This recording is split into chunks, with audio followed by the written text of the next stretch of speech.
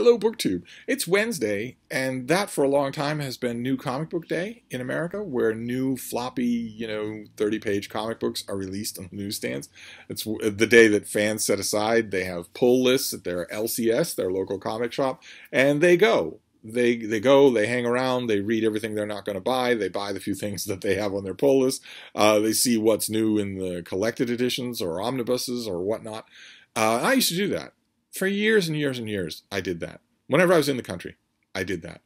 Uh, sometimes, very luckily, I would have an LCS that uh, that knew me and that I knew them, and I did have a pull list, and they would also look for scarce or you know we're not gonna we're not gonna stock it but we'll order it for you type items i don't have that relationship quite right now but mainly because of COVID, mainly because of, of COVID nineteen. I I stopped going to my LCS. I I uh, my LCS for a long time. Well, for years and years before that, it was a great place called Million Year Picnic across the river in Cambridge. Uh, for years and years and years, that was my LCS. That was my sort of treat to myself on New Comic Book Day. Is that I would cross the river into Cambridge. I'd go to all the used bookstores. I'd get myself some lunch. I'd go to to Million Year Picnic, maybe even catch a movie that was at a time a long time ago when my dogs were old.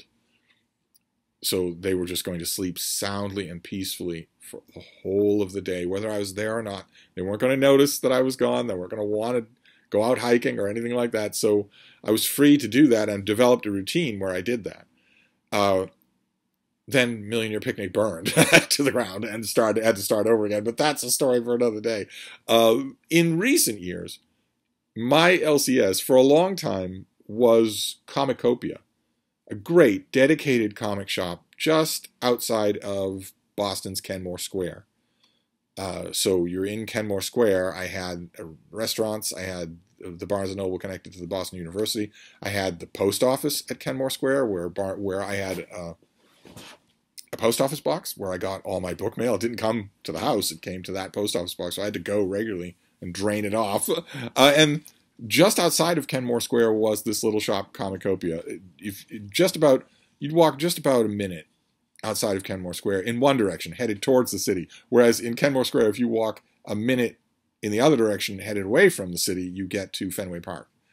Uh, instead, I would go to Comicopia. I knew I knew the owner. I knew a lot of the people who who worked there. The kids who worked there were really good, and they would, you know, I had a pull list there from time to time. They would get stuff that I, I that I actually wanted.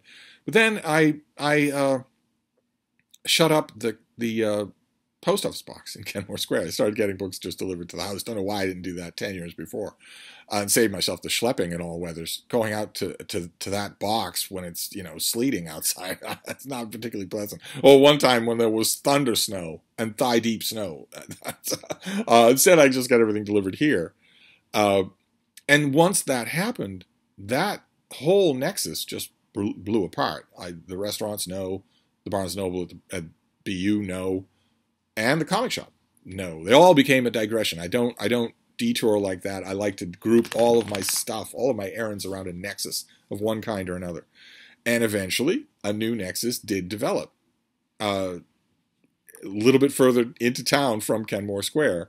Uh, and one of the places in that nexus was Newbury Comics on Newbury Street, the very first Newbury Comics, uh, the one that's on Newbury Street, uh, where I would go regularly and I would shop for comics. And then they closed and renovated. Uh, they didn't go out of business. The comics were moved into a dank, dark, dripping corner on the second floor uh, because they don't make their money. Uh, Newbury Comics, despite the name, does not make their money off comic books at all. And I still went. I had other things in that area. There was an actual Barnes and Noble. My Barnes and Noble was in that area. There was a big supermarket in that area. A whole bunch of other things. That so that suddenly became a nexus for errands. One thing I hate to do in errands is go. You've just got to go to one place, get there, do what you have to do, turn around, and come all the way back. That might be fine if you have a car, but it's not so. I like to group everything together. But then COVID nineteen hit, and for a long time, that Newbury Comics was closed, of course. Then they, like everybody else, started doing curbside pickup and things like that, uh, compromises like that. And not only that, but everything else, all the other errands in that little nexus also broke apart. All the places that I would go in one trip. Closed, went out of business, started creating usurious uh, COVID rules or whatnot, uh, and that was the that was it for uh, my floppy issue new comic book week buying. I was that would have been a traumatic separation at any other time, except that for a couple of years before that, uh, Marvel and DC Comics, the major publishers of superhero comics, the the publishers that I follow, that I've been reading forever, uh, started pretty much actively trying to divest themselves of readers like me. Pretty much openly saying that creators, writers, editors, artists, pretty much saying that they they really don't want cis cishet white men reading their comics. And for some unknown reason, I'll never understand it, their editorial bosses saw that stuff on public media, on social media, and did not instantly fire these people. Instead, it, it was the implication was pretty clear that it had corporate approval, or at least corporate indifference. And the comic book showed it. You started getting, you know, utterly ridiculous stuff. The, the comics, the superhero comics that I'd been reading for 50 years started turning into food obsessed YA full of Twitter sloganeering, of Twitter politics. Uh, no, no interest at all. No one taking them seriously. The artwork went off a cliff. I imagine because the pay rates dropped, and, and so you couldn't get the first-rate talent. There would always be things to get, but never, never compelling in the way that once upon a time they were. Good lord, once upon a time. I was I was getting the major issues that came out from Marvel and DC every week just a stack of them and loving them most of the time, loving them. Uh, so when that rift came, uh, it was largely painless. When COVID 19 struck and suddenly I wasn't getting comics every week at all, it was largely painless. Uh, but every once in a while, interesting things would crop up, and and COVID started restrictions started to ease a bit. People started to be to able to go about with masks on, uh, and that started to get me interested in it, but there was still that nexus of, of uh, errands was still broken apart. Uh, so I started taking advantage of Mark Richardson and his and his dad up in Vermont, those poor long-suffering souls. I started asking, "Hey, if you're going to your LCS, they have a Newbury Comics as well. Uh, if you're going to your LCS, any chance you could pick up this or that for me?" and that went on for a long time because they give me a lot of crap, but they're they're they're inexplicably fond of me. So that went on for a long time. Uh, but and it was going to go on this week. That was going to happen this week. I looked at there are all sorts of websites to tell you what's coming out, what comics are coming out on Wednesday, and I went to one of those sites and looked at the comics. Ordinarily, I see nothing, absolutely nothing that is of even the remotest interest to me. But this week, there were three things that I definitely wanted I definitely wanted to read. And I actually put in a wheedling little cringing request to Mark and his dad asking, you know, if you go to your comic shop, could you pick these up? Then I thought, no, the comic shop is open. It's open for business. You don't even need to wear a mask. They appreciate it, but it's not Massachusetts ordinance anymore. I will, of course, but you don't it's it's open for business. There's nothing restricted about it. There's no limited occupancy. There's no nothing like that. And that is also true for all the other places that used to be in that nexus of errands. I could simply resurrect that nexus of errands. I could simply do that. So I thought, well, why don't you do that then? So I did. I did. Today I did.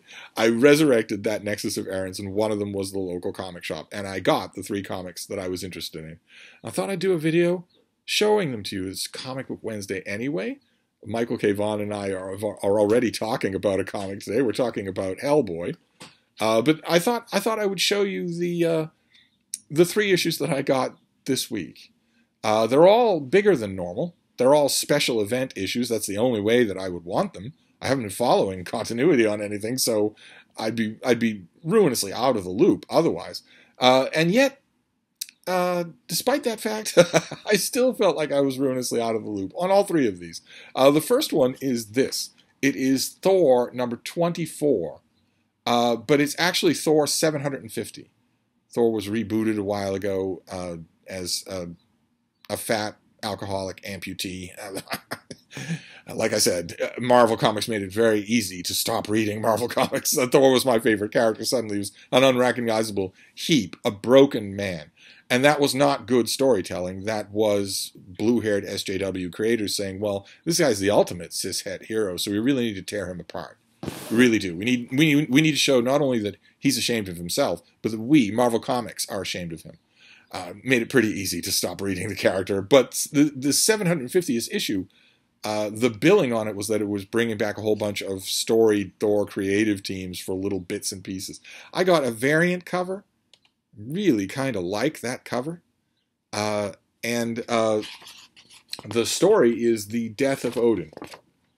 Uh, I guess he's Odin has the king of the Norse gods and Thor's father has died in a previous issue, and they're at his funeral they're reading from a book. I think that weird thing is Thor's new costume.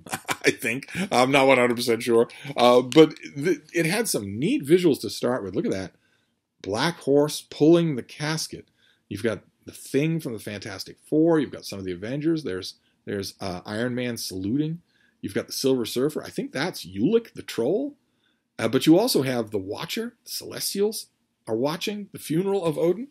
Uh, and uh, so I thought, you know, all's well that starts well. That that's pretty good. But no, no.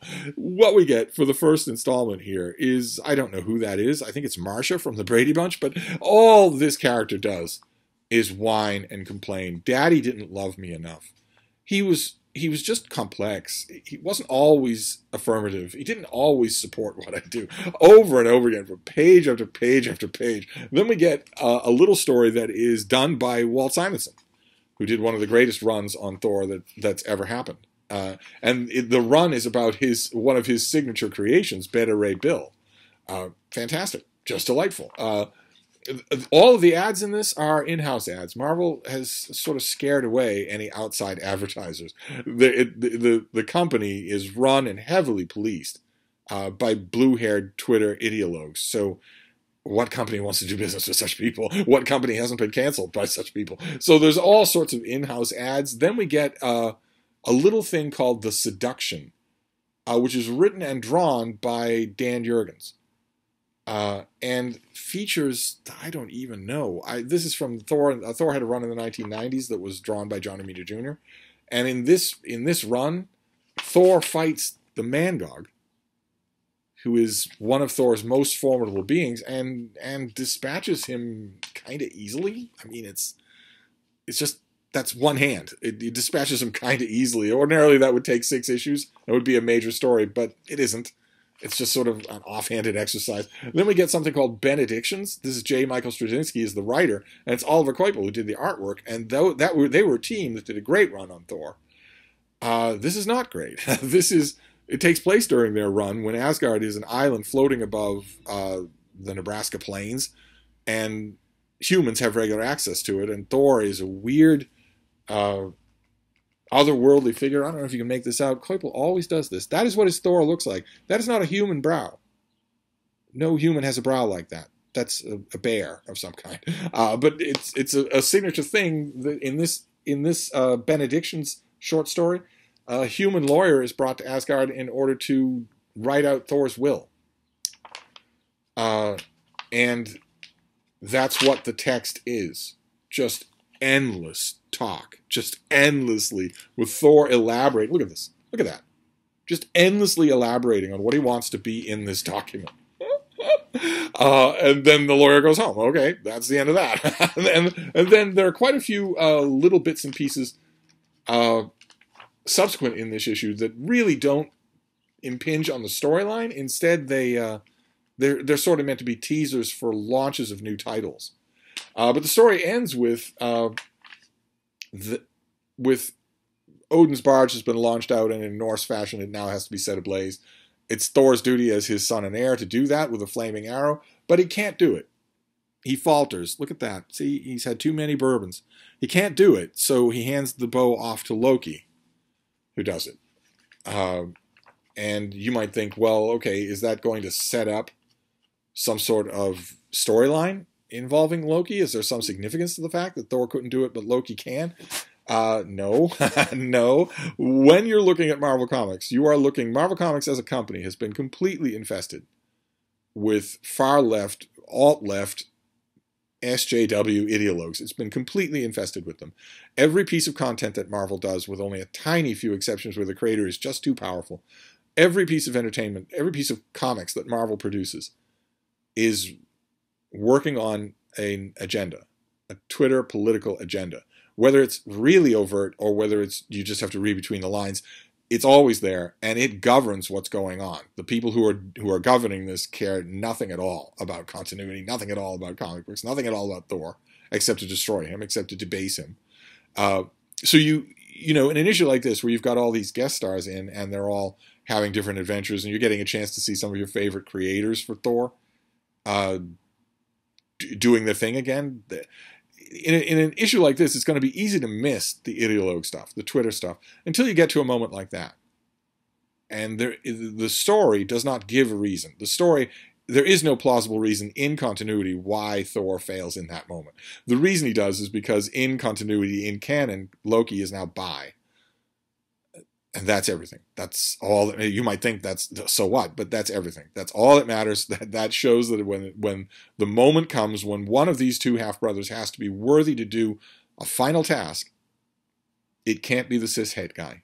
It it just can't be. Our laws say so. So so the one intensely confusing moment in a book called Thor, when Thor can't do anything, he mopes and complains throughout the first part, and then he fails in his duty as a son in the second part. In a comic called Thor, where Thor only complains and fails, and finally hands over the responsibility to somebody else, you might read that and think, well, okay, some of this stuff is interesting, and I like seeing some of this artwork again, but what on earth is going on here? And that's the reason why. If you didn't know, that's the reason why. So you know, I got this mainly for the same reason I imagine a lot of people did, because it was great to see these old creators back in harness. But uh, uh frustrating is putting it mildly. and then the next big event, I mean, Thor 750, that's an event. Uh, the next big event was a first issue, also from Marvel Comics, Spider Man number one, uh, starting a new volume for Spider Man. This is written by Zeb Wells, but the key thing here, the key attraction, is that it's drawn by John Romita Jr. Uh, was a great Spider-Man artist on his own. He's also the son of one of the greatest Spider-Man artists of all time, John Romita Sr. Uh, he has a particular style that uh, is a particular style that uh, is very different from his father's. Uh, you want you want to feast your eyes on that panel right there uh, because that is literally the only time anywhere in this comic book where anything happens. No, no, there's an explosion. Sorry, uh, it's not. Uh, it's it, there's a, a, guy's house explodes. Uh, there you go, and that's a pretty good visual effect. Uh, John Romita Jr. is a fantastic artist. I he's one of my favorite Marvel artists. He's also a fantastic guy, uh, and it's it would make it uh, required reading for me to get this anyway. For John Romita Jr. to go back to Marvel Comics, he spent a long time at DC for him to go back to Marvel Comics and draw Spider Man with a new Spider Man number one, of course, I was going to get this issue. Uh, but again, again, first of all, when you're reading a Marvel comic, you are reading a piece of propaganda. You are reading a, a four color installment of Twitter with sound effects. You're not actually reading a comic book. The people who create, slate, edit, write these comics do not care about these things at all. They've said this countless times on social media. They think comic books are ridiculous. They think comic books are for 40 year old neck bearded incels. They have nothing but contempt for the industry, nothing but contempt for the legacy that has been handed to them, nothing but contempt for the continuity, nothing at all. So when you're reading a comic like this, you just have to wait for all of the telltale signs that you re- are reading what those neck bearded 40 uh, something incels on YouTube refer to as an SJW comic. Uh, one of the characterizations that I mentioned, we mentioned already with Thor, is that if the main character is a cis het white man, he must be degraded. Not only externally, with everyone thinking nothing of him, thinking of him only as dirt, but also internally. He must think of himself as worthless. He must he must think of himself as dirt. It, has got to be total. It's got to be a total repudiation of the character with no heroic arc, no redemption, no nothing. That that can, those things, the, the the tinny approximation of things, are reserved for Marvel's 60 titles that don't star cishet white men. Uh, the the fact that Marvel's uh, popular marquee characters here are from a, a, class that all of its creators and editors feel free to be bigots about in public really chaps their hides. There's nothing they can do about it. There's nothing they can do about it. They can create an alternate Spider-Man who's black. They can create an alternate Thor who's a woman, but they can't change anything about these legacy characters, and you know they want to. Uh, that's one of the things you have to look for in an SJW comic is is the cishet white hero uh, pathetic? Seen as pathetic by everyone else, and also seen as pathetic by themselves. Are they just pathetic? A washed up, broken thing, something you shouldn't admire. Well, that's true in Thor. It's definitely true in this issue. This issue takes place uh, in medias res, so you you're not really supposed to know what's going on here. I don't think you're supposed to know what's going on here. There's a major event that has happened six months earlier and is being alluded to in this issue. I guess there's an attempt there by what's what's his name again, Zeb Wells, to create dramatic tension by having you wonder what is this thing, what is this event that has everybody worried about Peter Parker, and that's incurred a huge debt for him, financial debt for him, uh, that has a, a, you know a bill excuse me a bill collector sitting on his stoop just waiting for him every day. Uh, we don't know what that is. We don't learn what that is in this issue. Uh, but the the pathetic degrading of the hero is definitely there. There are a couple of other SJW hallmarks uh, that you can look for. One, as I've already mentioned, is an almost surgical lack of action there will be almost no action. Aside from the, th- the two panels I showed you, there is no action in this issue. There's just people talking and talking and talking and talking and talking. Uh, that's another hallmark. Uh, is is there'll be no action. There'll be nothing. There'll be nothing to satisfy the comic reader's gaze. There'll be nothing like that. If they've been coming to these things for 50 years and paying the bills and keeping electricity on in the building where I work for 50 years, well, then I know the whole list of things they want in a comic, and God help me, I'm going to take them all away. You don't get any of those things, you pathetic losers. Uh, so you won't get any action. You won't have an uh, an upright or an admirable hero if the hero is a cishet white male. Also, there will be, as I've mentioned in other contexts, a huge amount of unnecessary force swearing. Uh, that's all through this comic. It's not just the villains. It's Peter Parker. It's almost Aunt May. it's all, oh, virtually every character. They're, they they put in the little line of uh, nonsense symbols uh, the writer does, puts in a little line of nonsense symbols, let us know, we'll make sure that we know that our hero, Peter Parker, is just cursing a blue streak for no reason whatsoever in normal conversation with a villain, with a hero, with anybody. And the hero, the villains too. We get a ton of time with the villains. Uh, New York's crime syndicate, various crime syndicate people. We have no idea what they're talking about. No idea why we should care about any of them or who they are. No idea why we're spending so much time with plotting and scheming villains in an issue that's supposed to be about Spider-Man. So much time with that. There's a tiny guest appearance by uh, Johnny Storm, the Human Torch, who's uh, one of Spider-Man's closest friends. And he tries, it's a good scene, he tries to reach out to Peter Parker. Says, you know, something's wrong and you're not yourself. And I'm, I'm trying to figure out what that is. Peter Parker pushes him away. So uh, and that happens all throughout. He pushes his Aunt May away. He is uh, badly estranged from Mary Jane Parker, who seems to have uh, a, a, boyfriend slash husband and kids. They might be his kids, and of course, I'll have to show you this because it's so incredibly predictable. This is what he looks like. Uh, this is what what's his name? Uh, Paul looks like that. Uh, he's a hipster douchebag. He's vaguely ethnic, and that he has kids uh, that call Mary Jane mommy. So I don't. One of them has red hair. Are they her children? I, I don't know. I have no idea. Uh, I the, there is once again everything to do. Everything that happens in an SJW comic book is private. You're not invited. If you're a longtime fan of these characters, you're not invited. You're a loser. If you're still reading comic books or an adult, you're a loser. Say the adults who are writing and editing these comics. If, if you're still reading this stuff and care about it, you're a loser. And you're a loser anyway, because if you care about these things, if you solve your problems by punching a villain, then you must be a crypto fascist. and so and hence quote a garbage person unquote. so so this, the, the the pages radiate with contempt, with corporate institutional contempt for the people who are keeping the lights on. Uh, and this also is a private thing. This is there's a long story behind that one panel uh, that that uh, involves the arch nemesis of all of these creators, Ethan Van Sciver, who once upon a time in a video just off the top of his head, he's an excellent artist, and once off the top of his head, he drew a caricature of what his enemies look like.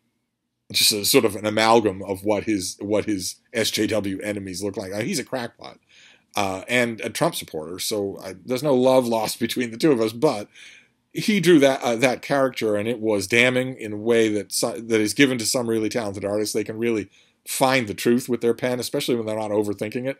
Uh, that little profile that he did, that little doodle, is spot on, absolutely perfect, and it might as well be Paul. They look exactly the same, so th- there's some sort of echoing going on there. Whether it was the writer wanting to send that up, or maybe the artist, John Romita Jr., who's a normal guy, uh, wanting to put that into the stew just for the fun of it. I, I have no idea.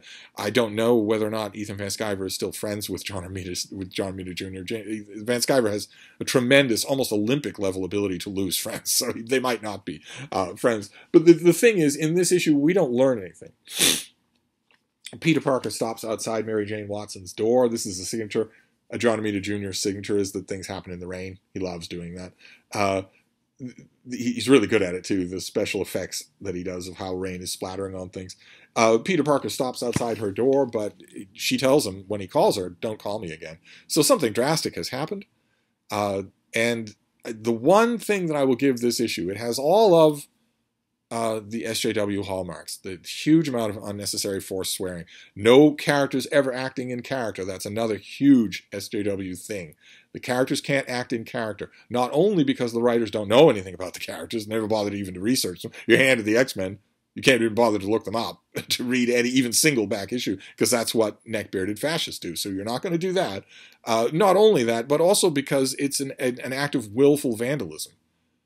Uh, even if I know the character's previous 50 years of characterization, I'm still going to have them be completely out of character to show that I don't approve. that I don't approve of any of that. I'm just going to reinvent. This is my sandbox. I'm just going to reinvent these things. And because the corporate executives at Marvel and DC have bigger fish to fry, they have bigger worries on their plate. They just have turned away from, and it, it has been allowed to happen. Uh, so this has all of those hallmarks. People talk endlessly. This is endless conversation. No one's in character. Uh, there's no action.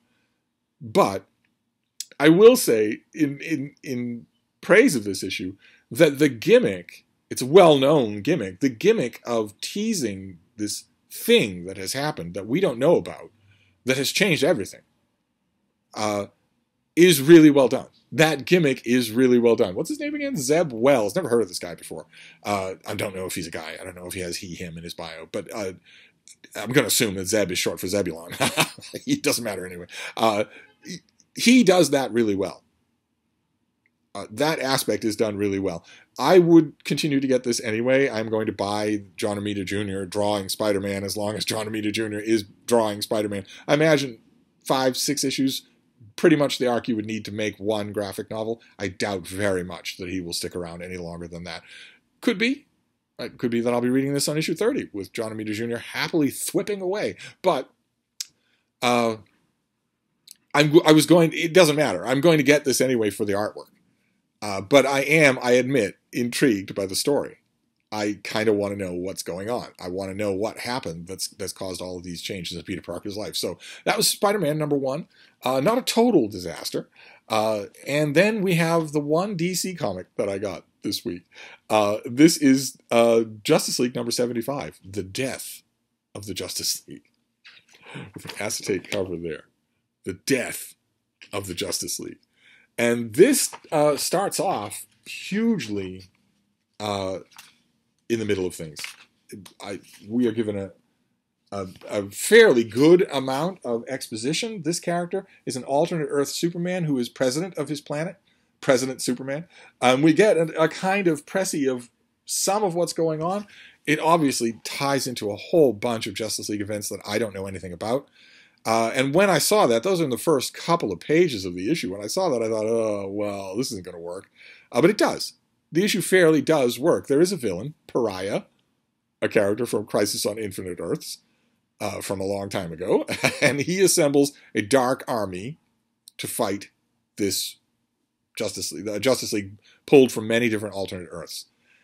Pariah, this guy who was not a villain in his previous installments, but now he is one, he assembles a dark army of extremely powerful figures uh, that we know, but that aren't acting like themselves. Ares, the god of war, Darkseid, uh, Mongul, but they, they don't seem like themselves, but they take on the Justice League. There's a wonderful panel here where uh, where they charge into battle. Superman says, "Justice League, you know what to do," and they just charge into battle. All of them, all of these alternate world Justice Leaguers, but also a lot of leaguers from our own continuity.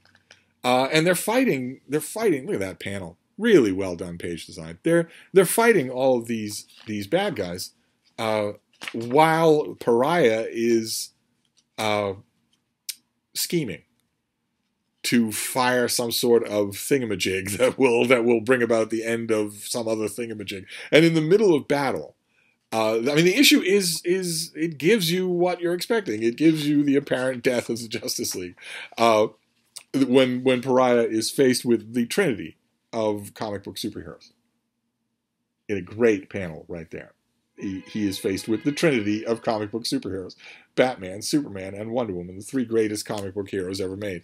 Uh, he's faced with them, and the death of the Justice League appears to happen and is going to lead into an event called Dark Crisis, uh, which I guess I will read, although it's a little bit pointless because DC might not be as infested with SJW far left ideologues, uh, but it is just as inept as Marvel Comics. And the, pretty much the same week that they announced this issue, this big marquee death of the Justice League, uh, to, to commemorate the anniversary of the death of Superman, pretty much the same week that they announced this, they also announced the event that is going to counteract it completely, where the gay Justice League saves the boring old cishet Justice League and brings them back to life. So we already know, fans that have been paying attention to industry news already know that this is nothing at all. There's no dramatic tension in this being real at all, this lasting in continuity for more than a nanosecond.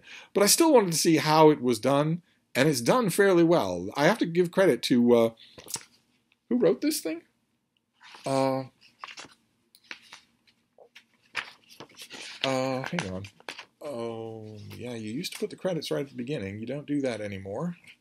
Uh, you probably put the credits at the end like you were in some sort of movie. Is that right? Are you going to do that? Are you going to put the credits at the end like you were writing a movie? Yes, you are. Joshua Williamson wrote this uh, with artwork by Rafa Sandoval that's quite good. Uh, that moment when the, the Holy Trinity is are the one the, the Trinity of Batman, Superman, and Wonder Woman are the ones to face Pariah at the moment of crisis uh, is really really good. But this issue has a great moment. Uh, there are no great moments in Spider-Man number one. There are no great moments in Thor 750, but and there aren't many great moments in the Death of the Justice League, but there is one, and I loved it. I absolutely loved it. Uh, and it's Green Arrow of all people, Ollie Queen, uh, who uh, notices that Pariah needs this gimmick. He needs this doohickey uh, to work, and Green Arrow has a plan. He runs and says to Black Canary, his his lover, his they're, they're, a couple. He says, "Cover me, Canary." She's she says to him, uh, "Ollie, what are you doing?" How she can say that while she's also unleashing her sonic scream, I don't know. Uh, but when he answers by saying, uh, "What I always do, saving the damn day." and he fires an arrow very cinematically. It goes right through all of the action to an absolute bullseye to blow up the machine, saving the damn day. So, although this didn't have quite the punch that I wanted, uh, it still had a great payoff moment. Uh, it had that at least. So, so this is the only issue of the Justice League that I bought in this whole 75 in quite some time. I haven't read this since issue 20 or 30, something like that, since before the pandemic. Uh, and I don't know if Justice League is continuing after 75 or if they're they're stopping the numbering and starting over again. But I I might go over to Dark Crisis. I might go over and see uh, where this story goes to. It's, it was well enough done, so I'm curious to know where it goes next. Uh, which is not true with Spider-Man number one. I I am kind of curious to know about that story, but the main reason I'll be getting Spider-Man number two is the artwork. Uh, whereas here, I I don't know. I'm I don't know if I'll be getting Justice League 76. Is, will there be any story? Will there be a Justice League 76? I don't know. I'll have to ask uh, at my local comic shop. There is one kid at my local comic shop who's tremendous at customer service, plain and simple. Not comic book customer service, not Newbury Comics customer service, just plain and simple at customer service. That if you've got a real person, you know, a real customer, then you'll do what you can. You'll do whatever it takes to make them happy. I, I, operated by the same philosophy when I was in customer service myself, and I like seeing it in other people. I like knowing it's not completely dead, and maybe it's a Newbury Comics thing because Mark and his Deb say that their Newbury Comics is full of people that are like that, and I met some of them. They are really nice. So, however that is, he's still there. He survived the pandemic, and so did I. So I will be checking out. I'll be checking out with him where I should go next for this story. Uh, maybe I'll read up on it online. Although I've already checked that website for forthcoming comic books, and there is not the slightest thing that interests me next week or the week after that. Not one thing. Not one thing. It's two weeks before I need to go back to that comic shop. I may go next week anyway, just to see what I can see, just to poke around. Maybe there's something. Uh, just to, to, cement this new habit, this new old habit. Uh, but there's nothing that nothing like these three things. Where these three things I was waiting for, I was hoping that they would be good uh, and was largely disappointed. so anyway, that's a nice long comic book video for you. A second comic book video because Michael K. Vaughn and I, of course, do talk about comics on Wednesdays. Uh, but I, I got these things I had to show too, so I'll I'll stop talking now. But I'll be back. Thank you, BookTube.